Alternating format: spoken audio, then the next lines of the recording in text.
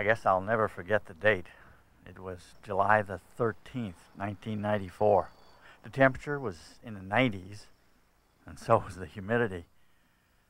We met Joe at the water cooler. They'd been having trouble with their paver, and that was holding them up. And then I came along with my inspection report on the centerline problem.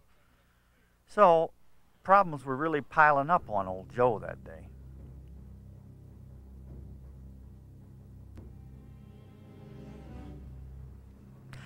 I think we know now it was a pickup, you know, with those wide mirror extensions, those Hollywood mirrors. I don't know. I guess we shouldn't have been walking side by side. Joe was going on about the pavement, and then, well, he just took one step to the left.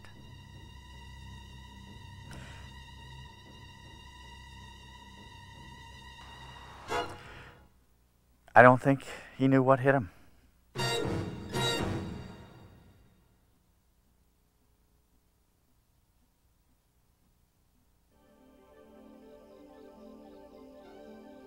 Looks like a good day ahead. And there's a lot of work to be done. But this is no picnic. This is a construction work zone. When you go to work in the work zone, you've got to put on your work gear, right? Well, you've got to do something else too. You've got to think safety. So wake up, get sharp, stay alert all day long whenever you're here, because this is more than just a work zone. This is a war zone.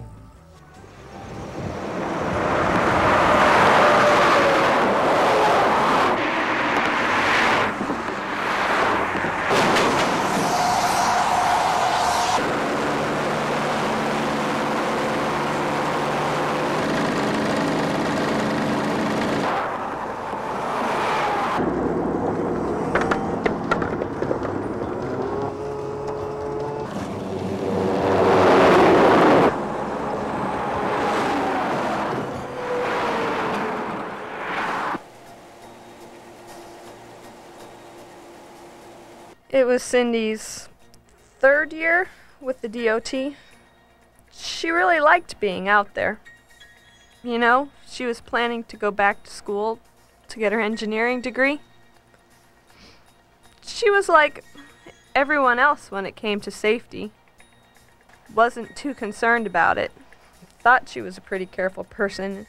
Said it was all just common sense. Everyone said she must have been distracted by all the noise.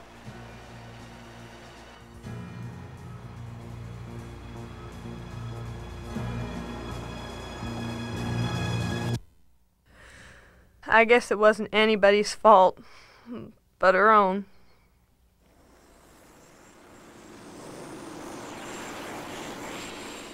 A construction zone is an active, noisy place with everybody doing their own thing.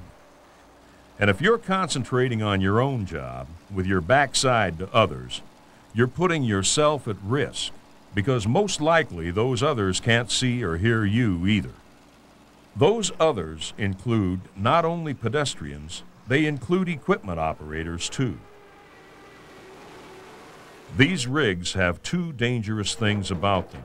One, they're big, as much as 150,000 pounds. If they hit somebody, you know it's going to be fatal.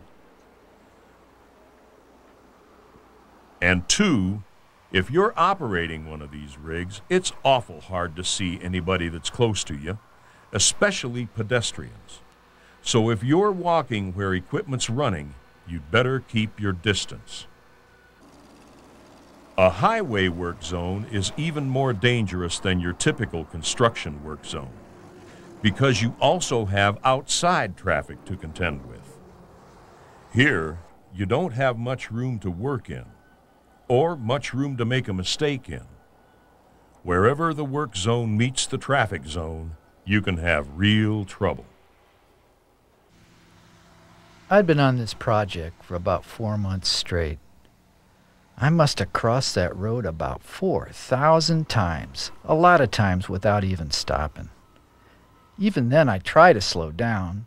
You know, you don't just stop a 100 ton vehicle on a dime.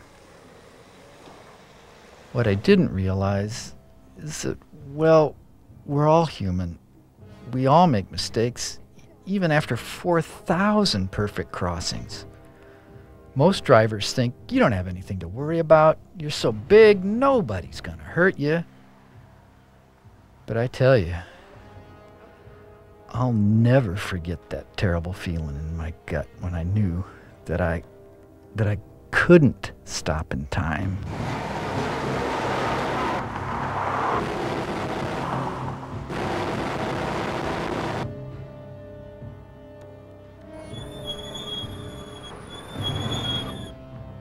No way I could have stopped. The line between the work zone and the traffic zone is pretty thin. It can get crossed real easily by anybody in any direction, at any time, and any place. But it won't protect you if you don't know where it is. If you cross that line without knowing it, it's just like it wasn't there in the first place and you'll never know what hit you. So you better know where you are at all times.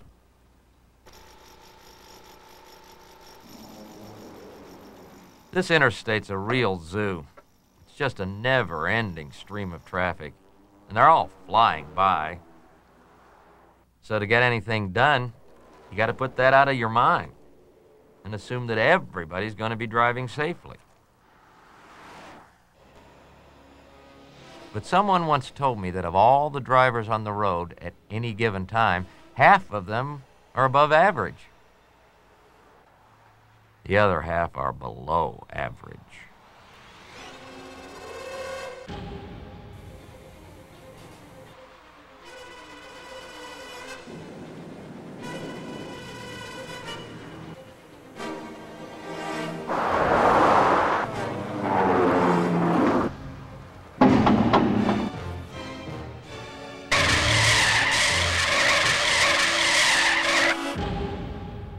So, what are you going to do?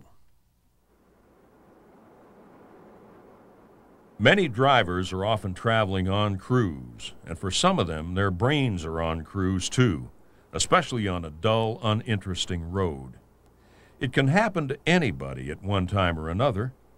It's human nature.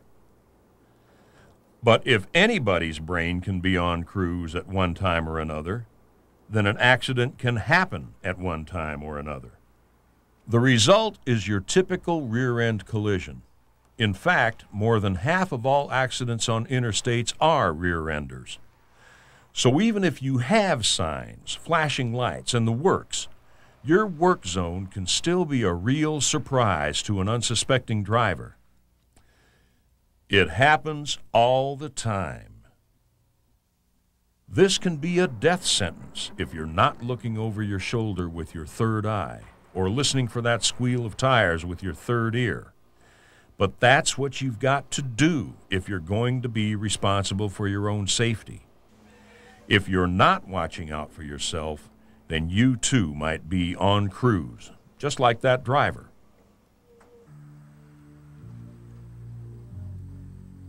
Mike was a real go getter. He'd been supervising for his company for almost 20 years. Everyone respected him because he knew what he was doing. Things were going real good. In fact, we were ahead of schedule. Oh, you're always going to have some sort of problem, but Mike always seemed to be a step ahead of it.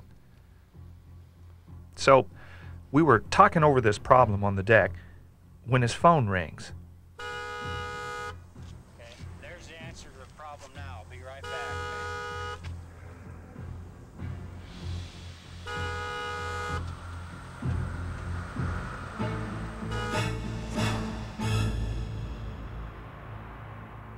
The worst part was, it was his wife who was on the phone. If you don't have your head screwed on straight about where you're at or what's going on around you, If you're just cruising along like a lot of drivers on the open road, then you're not going to be around for long. Because it only takes one careless moment, and you're just one step from death.